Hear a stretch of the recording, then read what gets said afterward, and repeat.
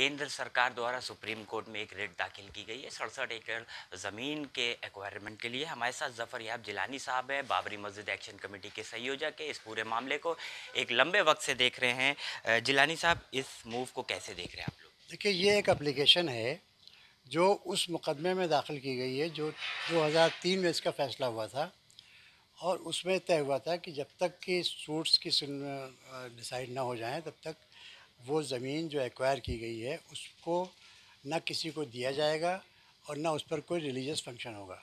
तो ये उस एप्लीकेशन के ऊपर आप बातचीत चल रही है। अभी वो एप्लीकेशन सुप्रीम कोर्ट के चीफ जस्टिस के सामने शायद नहीं आई है। और जब चीफ जस्टिस के सामने आएगी, तब ये पता चलेगा कि वो इसको इंटरटेन करेंगे या नहीं करेंगे। कोर्ट करेगी इंटरटेन या नहीं। और अगर वो इंटरटेन करेंगे तो ज़ाहिर है कि पाँच जजेस की बेंच को रेफ़र होगा। हम लोग इसको मेलाफाइडी समझते हैं।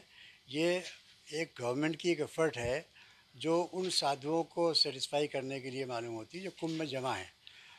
ये गवर्नमेंट का काम मंदिर बनवाना नहीं है, ये हम सुप्रीम कोर्ट के सामने रखेंगे, क्योंकि सुप्रीम कोर्ट के नौ के फैसला ये है कि सरकार ऐसे किसी काम में इन्वॉल्व नहीं हो सकती, जो एंटी सेकुलर हो या अनसेकुलर हो।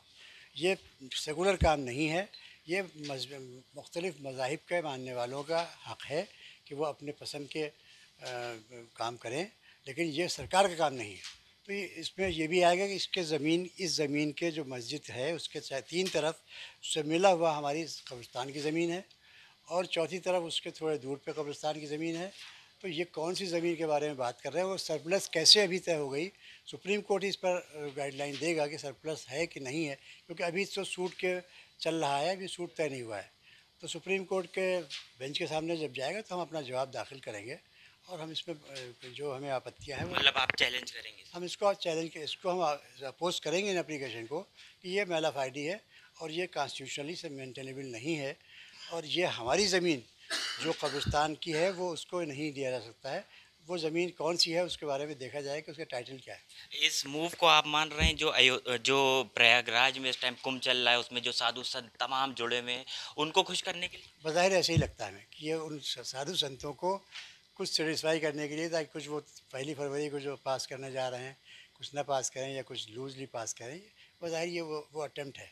बहुत शुक्रिया हमसे बात करने के लिए। तो ये बाबरी मस्जिद एक्शन कमेटी और senior advocate Zafaryab Jilani साहब थे। साफ़ तौर पे आपने सुना किस तरीके से वो कह रहे हैं, जिस तरीके से प्रयागराज में, इलाहाबाद में जो कुंभ चल रहा है, उसमें तमाम जो साधु संत मौजूद है, उनको उनको खुश करने के लिए ये कदम बढ़ाया गया है।